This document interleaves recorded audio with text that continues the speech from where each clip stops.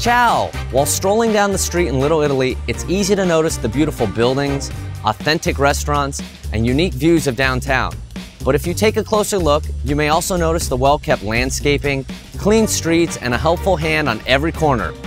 Little Italy would not be the community we know and love without those unsung heroes that keep our neighborhood at its finest.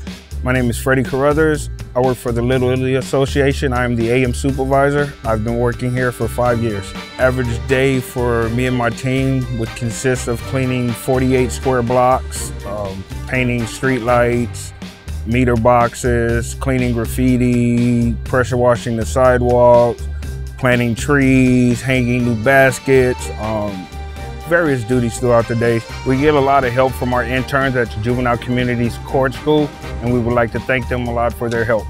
The best thing about my job is the people.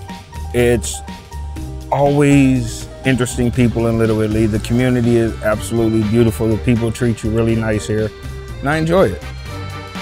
Currently, the Little Italy Association employs uh, 40 workers to keep our streets clean, to keep our garbage cans emptied. It's a very important component to keep our area safe and clean. Um, we're one of the very few communities that runs the community benefit districts here in the city of San Diego. As anyone knows, in order to maintain a, a good, efficient business, it's important to keep your area clean, um, and that's uh, part of the association's uh, contribution to the district down here. Next time you're out and about in Little Italy, take a minute, introduce yourself, and thank the hardworking crews that have helped make us the best Little Italy neighborhood in all of the country.